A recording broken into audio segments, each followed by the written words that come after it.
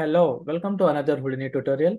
So in this video, we are going to see how to mix the fluids and its colors. So basically in this tutorial, we are going to take the two different fluids and we will apply the different colors for each fluid. And also we'll see how to blend the colors. So first I will take a geometry and now I will go inside and just I will take the source object. Uh, so in this case, I'm going to take a sphere and now I'll convert this sphere into like polygons. So here in the polygon primitive, we need to select this polygon and just I will increase the number of frequency. So just I will move in the y direction. So I will select this, just I will move in the y direction.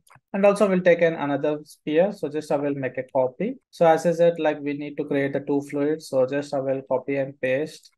And just I will move it in this direction. And also I will just turn on the template for this thing and just decrease the size. And just will take the collision object. So in this case I'm going to take a sphere. And here also just in case if you want you can convert into polygons. And just I will increase the number of frequency. And just like I will scale it so we can see it in the top view. So just I will go to the perspective and just I will go to the top view here. And also just I will uh, decrease the distance. Uh, so first I will move this sphere. So let's say we are given to 5. So I will just give the center to 2 or something. So that exactly it will be on the ground. And I will just move these two spheres little bit uh, to the y direction. So select this and like select this. So that's fine. So the distance is okay. So it's up to you. Like uh, for this tutorial, this is fine. So what the thing is just we need to uh, like animate one of the spheres. So just I will animate this small sphere so that the liquid will fall from one direction to another direction. So what I will do is just I will select this thing and we need to give the animation for this center. So in order to give the animation, so first I will go to the top view here. And now just I will move to this direction and I will turn on the template for this sphere. So I'll give the animation for this center by using alt left click onto this thing. So it will create the keyframes and just you can decide.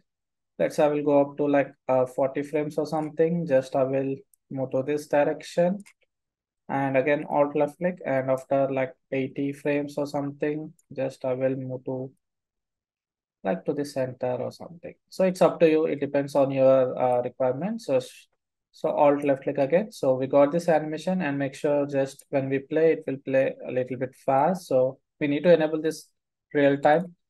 So now we will see. So we got this animation. So by using this, we will uh, create the fluids and just will mix the fluids now. So now we need to create the fluids. So we need to select this sphere and we need to create a node called points from volume. So select this and select so here what I will do is just I will increase the point separation to 0 0.08 or something. It depends on your system requirement. You can increase the number of points, means like you can decrease the value of this thing so that it will take more time to render and simulate. So in this case, just I'm going to give like 0 0.08 and so I have to give the same thing. So control C, control V and just I will connect here. So next what the thing is just we need to give the color for these two spheres. Uh, so just I will enable this and now we need to give the color. Uh, so for that I will take a node called like color. So select this and let's I will give the color to like red. And for this, you can copy and paste and just connect here. And for this, I can take to like uh, green or something. So, and if you enable, now you can see we got this red and green color. And also we need to create the density for these two fluids. So for that, uh, I will take a node called attribute create. So select this and what I will do is just I will select this attribute create and here I will give the name to like density. So after that, just in here, we can go down and you can give the value like let's I will give the value to like 500 or something and same thing like I will copy and paste. So here just I will give more density for this thing. So just in case I will give to like 700 or something. So there need to be like some difference between these two fluids. And finally, we need to merge these things. And after that, just I will give the null node so that we can browse in like uh, DOP network. And we can give the name like fluid out or something. So it's up to you. So now what the thing is, we need to create the simulation for this thing. So just we'll take an DOP network. So select this. And just we need to go inside. And here uh, we need to create a flip object. So select this flip object and also we need to take a flip solver and also like we need to take a gravity So select this gravity. So now I will connect this flip object and also will connect this to gravity and to the out here. And now defaultly it has been created one cube. So what the thing is in the flip object, just we need to remove this thing. Uh, the group is, is been created defaultly. So we don't need this. And now what the thing is we need to uh, create the source like means like we need to generate the particles from these spheres. So what we need to do is like we can go out and we can copy this null. So select this copy and go inside. And here we need to take a node called volume source. So select this and we need to connect this to this flip solver here. And here in the volume source, we need to paste that null which we created. And also after selecting this volume source here, you can see there is an option like initialize. So here we need to select the source flip. So if you zoom out and also like still we are not able to see the sphere. Uh, so what we need to do is in the volume. So if you go to the particles, we need to remove the group here. So select this and now we got this thing. And also if you want to like uh, decrease the size of this box, uh, we can select this uh, flip solver. And here you can see there is an option like volume motion and just let's I will give the value to like 10, 15 and 10.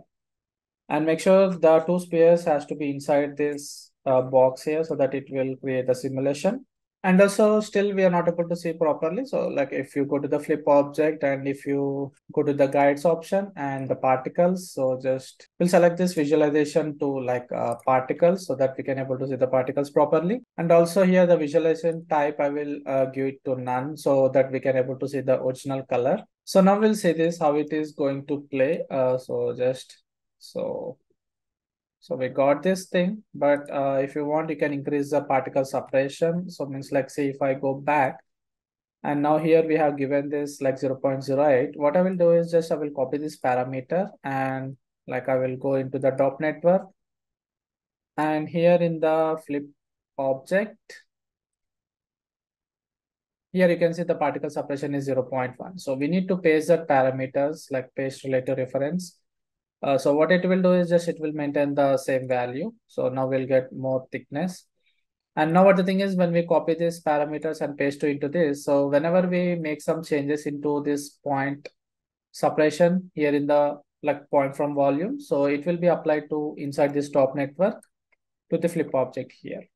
And also if you want more, like uh, we can give the more value like in the point volume. So if you select, uh, we can give to like 0 0.0 8 or something so that it will increase more. So it depends on your system performance. You can increase and decrease this thing. Uh, so if you go now, so again, we will simulate this thing. So now it is going to be a little bit slow because as we have increased the number of particles.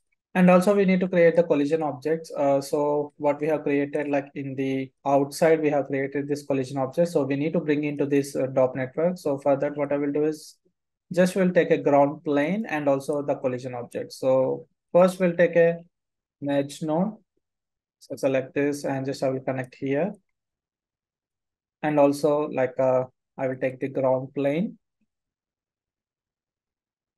And I will connect this to like mesh. So in the merge, I will select uh, the relationship to like mutual. So what the thing is, whenever we move this either left or right, still this will be the collision object here. So, or else what the thing is, just we need to swap this thing so that it will come to the left. So the left object will be the collision object. And also we need to create, uh, we need to bring that uh, sphere into DOP network. So for that, again, I will take another merge. And I will connect here. And I will go to the first frame. So now you can see the ground plane. And now what the thing is just I will take a static uh, object so that we can browse that model. So I will connect it. And now he, for this merge, I will just select this to mutual or else you can swap this thing. So now what the thing is just we need to bring that object into this static object. Uh, so for that, what we'll do is just we'll create a null for this thing. So just we'll create a null node and just will name it as like a collision. And I will copy this thing. So we can select this, we can copy and just will come to this dop network. And here in the static static object, so in the SOP path, we can press Control V. So now we got this object here. And also we need to check the proper collision, whether it has been applied or not. So when we select the static object, if you come to this collision and here you can enable this uh, collision guide and also like uh, in the display geometry, just I will turn it off. So this is a collision guide. Sometimes it depends on the object, you will get some sort of holes onto this collision. So the fluid will not be collide in dirt areas and it will go inside the sphere. So if you want to make a proper collision, make sure we need to increase the value of this uniform division. So for example, like just I will give uh, like 50, so that's fine. And still if we are not able to cover the holes in case like we can increase the number of value here. So just I will disable the collision and also I will enable this display geometry. So now we'll see this thing, uh, like just we will play this.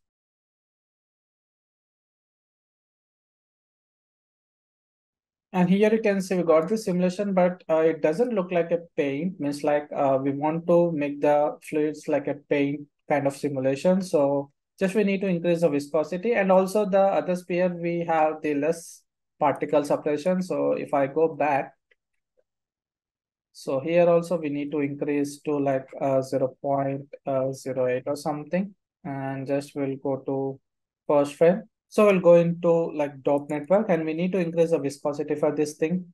So in order to increase the viscosity, we will need to select this flip object.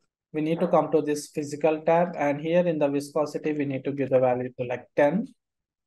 And also in the flip solver, we need to go to this viscosity and make sure we need to enable this viscosity. And also we need to enable this viscosity by, by attribute here. And now we'll see how it is going to work. Uh, so just like I will click on this play.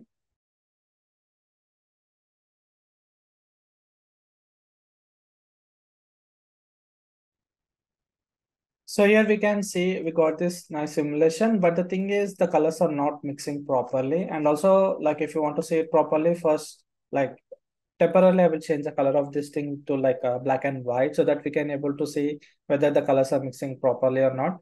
But still here you can see the colors are not mixing. So we need to transfer the attributes so that uh, the both colors will be mixed and it will form the different color here. So first of all, I will change the color to like black and white temporarily. And then the final output, we just we can change it to like uh, the color which you want. So just I will go back. So here uh, for timing, just I will give the value to like white. So before that, what I will do is just I will go to the first frame. And now you can select this color. And here I will give the value to like white. And just here I will give the color to black. So just we'll see, uh, but before uh, just I will uh, give the notes like uh, how to transfer the attributes and laterally directly we can see how it is going to blend properly here. So first we need to take a like a SOP solver and multi-solver. So just like I will take a SOP solver. And also I will take a multi-solver. And what we need to do is just we need to connect this uh, multi-solver here. So just I will move this flip solver to little bit up. And what I will do is just I will connect this multi-solver here. So I will connect this flip object to this multi-solver. And just I will connect this flip solver to here. And also I will connect this SOP solver to here. And just we need to take the connection uh, from this thing. So just we need to take the connection. So now we need to transfer the attribute. So just we'll go inside this SOP solver. And now we need to take a node called attribute transfer. So I will take attribute transfer here and just I will connect this to here, connect this to here, and I will connect this to here. So we need to connect this both of them to this attribute transfer. So what we need to transfer uh, that we need to select by using this attribute transfer and here in the points we need to select this color and also we need to select the density and just we can remove this primitive. And in the conditions, just I will give the max sample to like uh, 50 or something. And here in the distance threshold, I will give the value to like 0 0.1. Oh, sorry, the max sample count, just I will give value to like uh, 5. That's fine up to this. And now we'll see the output. Just we'll go back and now we'll click on this play.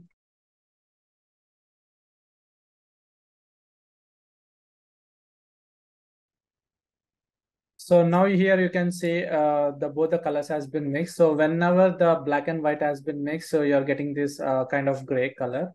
So but uh, still, we, still we are not able to see. Here you can see uh, we got this nice uh, gray color. So that means like the attributes has been transferred to each other here. So now we need to convert into like mesh. Uh, so what we need to do is just we'll go back. So we will take a DOP import field. So select this and we'll click this.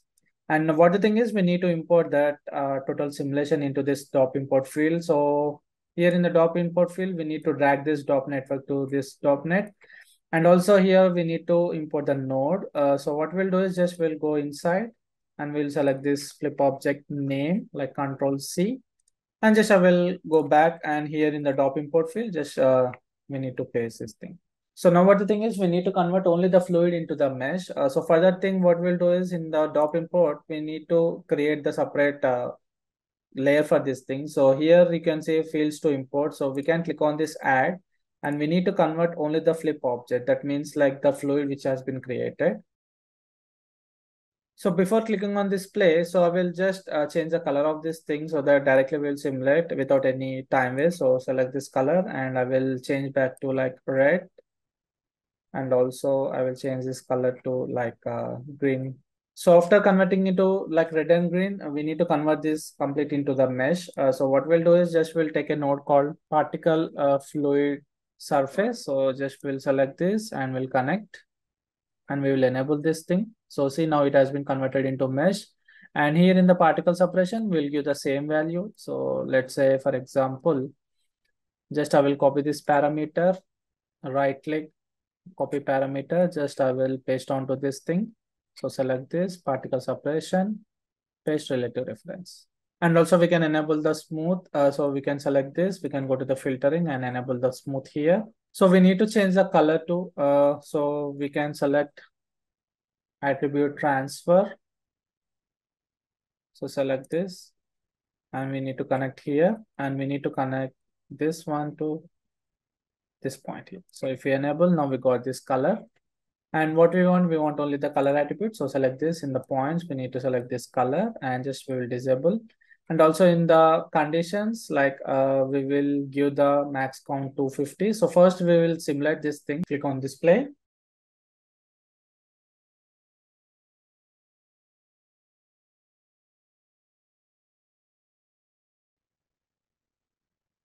And here you can see now we got this nice mix of this green and red color, but still see it doesn't look properly. We got this uh, like patchy kind of thing. So now whenever we select this attribute transfer here, we need to increase the max sample count to like uh, 50 or something. So see now we got this nice blend over this thing. So in this way, we can transfer these attributes to one color to another color and also the density. And the remaining other values, uh, let it be like a default. So, and also if you want to see the object, the collision object, uh, so like we can bring it down to here. So we'll take a match and we will connect this collision and this to here. And just we got this uh, sphere. And now what the thing is, we can give the materials and we can render. So let me render in Mantra. So we can go to the render view and just we can click on this render. So here we got this nice uh, like mixed color render. And now if you want to render in Karma, so you can watch my previous videos. Just I will put the link in the description. So just I have in that video, I explained detailedly how to like give the materials and how to render in Karma. So that's it for this tutorial. Like see you in the next video.